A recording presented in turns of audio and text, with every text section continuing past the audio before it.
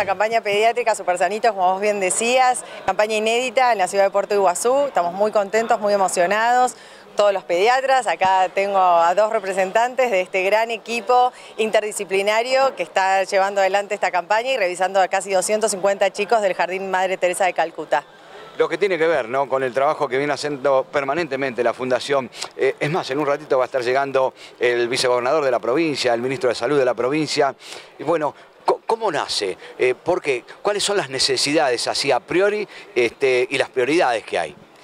Mira, en una charla informal con el que es el pediatra de mis hijos, el doctor José Alberto Elfie, en una de esas no sé si vos tenés hijos, pero todos los que tienen hijos ahí en casa seguramente saben que en un momento terminan las preguntas meramente médicas y los pediatras empiezan a ahondar sobre los hábitos, costumbres de las familias, a qué se dedican y demás. Entonces le cuento sobre mi trabajo en la fundación y esta idea utópica que yo tenía de transformar el jardín en un centro de salud. Yo veía que el doctor se iba emocionando cada vez más y me hacía cada vez preguntas más profundas, como ser la cantidad de chicos que asistían al jardín y qué patologías eran las más recurrentes.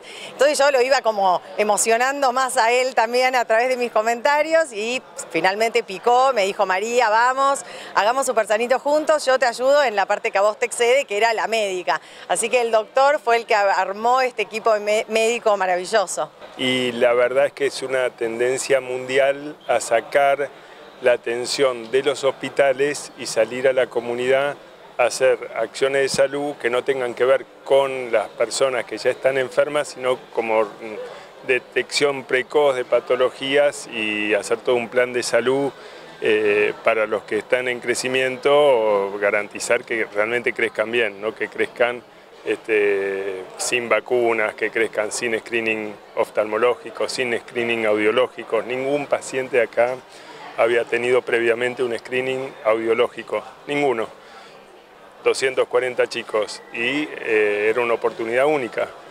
Entonces, bueno, tuvimos eh, el tiempo necesario para armar un buen team, tuvimos el apoyo de la fundación que valoro muchísimo y que sinceramente espero que muchos grupos empresariales tomen esta aposta y lo hagan en otros confines de nuestro país y con otros equipos pediátricos, pero que lo hagan, que adopten 500, 1000 chicos y que hagan este tipo de campañas que son muy valiosas, que no esperen a que los chicos lleguen al hospital por deficiencias en la atención pública, sino que eh, los detectemos mucho antes.